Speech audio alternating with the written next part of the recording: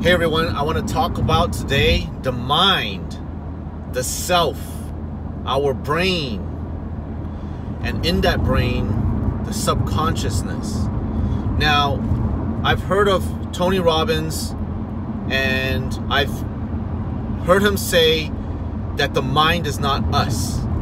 And, and I want to break this down a little bit because when he said that, it struck me like lightning and I understood what he meant by that. And I wanted to talk about that today because it correlates with all my other videos, number one, and two, my practice of the, the, the subconsciousness, the programming, society, the matrix. All those are the same meaning, using different terminology, using different subjects in life, whether it's spiritual, religion, science. They all talk about the same thing. It's the tech, it's the terminology that's different. It means nothing different. So let's let's let's talk about what Tony Robbins means when he says the mind is not us. Okay? Why do we have negative thoughts? It's very simple. The negative thoughts are not us as well too. The negative thoughts are our preconditioning from our family, friends, upbringing, school system, television media, radio, whoever you decide, or whatever your first seven years, or whatever the seventh year to the 18th year, those friends you hang around with, and ongoing. But our programming is those society, the community of people we have grew up around, not by choice.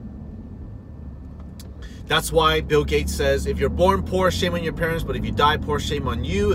What it means is you have the difference after age 16, 17, or 18. That's why by law, you can buy cigarettes, and depending on which state or country you can buy alcohol. Because you're you're an adult. You can make your own decisions. You can make your own decisions to change your own life as well.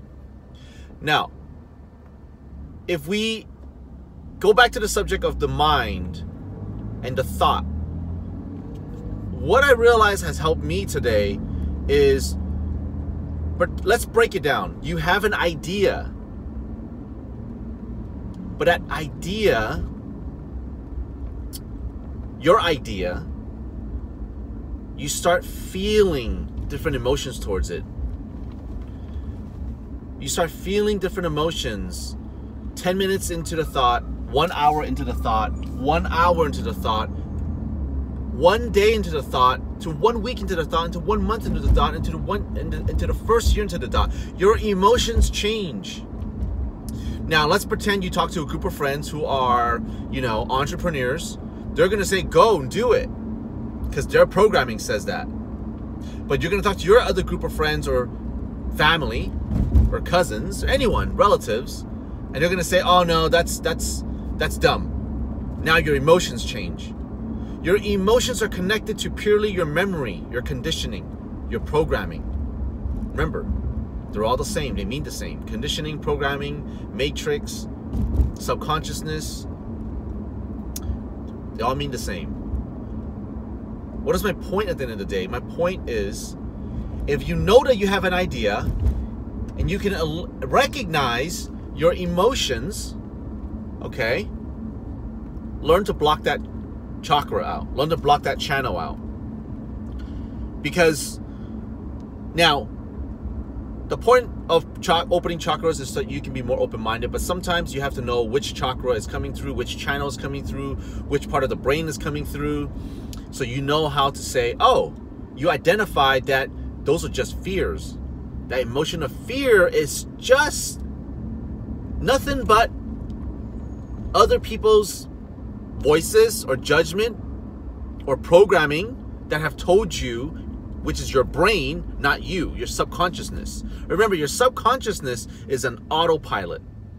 You don't get to decide what goes in there. But you get to decide who you surround yourself with And those new data or voices or conditioning or programming goes into the subconsciousness if you hear it enough. Science shows you have to listen to something 14 times to become your subconsciousness. So, that's why sometimes when I'm listening to a audiobook or audio tape or interview or something on podcast or YouTube, I, I love to listen to it for 30 days straight sometimes, every time I'm driving. If I'm not making a video right now, like this. Why? Because I wanted to get it, I want to brainwash myself. I want to ingrain into my subconsciousness so that it becomes my actual lifestyle habit by naturally, organically, without me having to think to do it. Does it make sense so far? Because if not, you can comment below right now. I'll message you back. I might even give you a private phone number for you to call so I can help you through that because I want to give back. I've been depressed, I've been suicidal, I've been down to the pitfalls. I know how it feels. I've had a friend commit suicide, and that was my wake up call.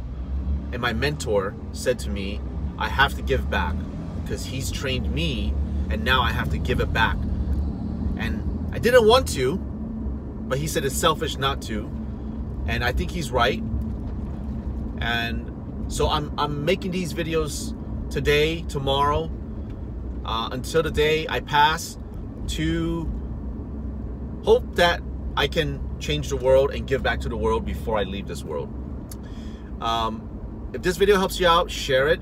If you have any questions, comment below. Uh, if it's a long explanation that I have to go through to help, I don't mind setting up a phone conference. Have a great day.